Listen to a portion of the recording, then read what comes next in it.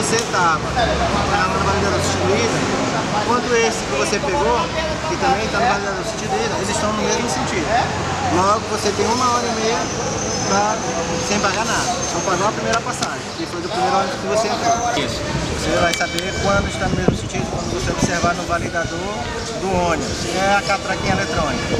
Nela vai estar escrito sentido ida ou sentido volta. Se o ônibus que você desceu e quis pegar o, o outro ônibus estiver no sentido ida e o outro que você pegou também estiver no sentido ida, você está no mesmo sentido. Logo, você tem uma hora e meia para sem pagar nada. Você pode pegar até um terceiro ônibus que você não pagará nada. Isso, as empresas determinam pontos estratégicos para fazer o que chamam de virada, que faz automaticamente pelo GPS. Ao ônibus passar nesse local estratégico, ele muda. O sentido de ida no validador muda para volta. Tá entendendo? Então é isso que ocorre. Os pontos estratégicos, a maioria são próximo à caixa d'água ali no canto da Fabril e aqui o terminal da Praia Grande. Desses ônibus que são dessa área.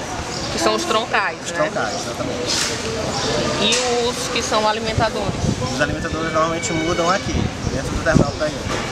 Eles vêm até o terminal. Quem vem até o terminal Praia Grande, né? Quem vai só até o terminal da Cama, É o terminal da Corão. O terminal da Corão e esse vice-versa. Bem, a razão de ter feito o requerimento pedindo ao prefeito de São Luís que faça estudos para fazer aumento do tempo do bilhete único e outras alterações em relação ao bilhete único decorre porque o lançamento do bilhete único já tardiamente, já há três anos de espera pela população de São Luís, ele vem na verdade se configurar como uma farsa, como um engano da população.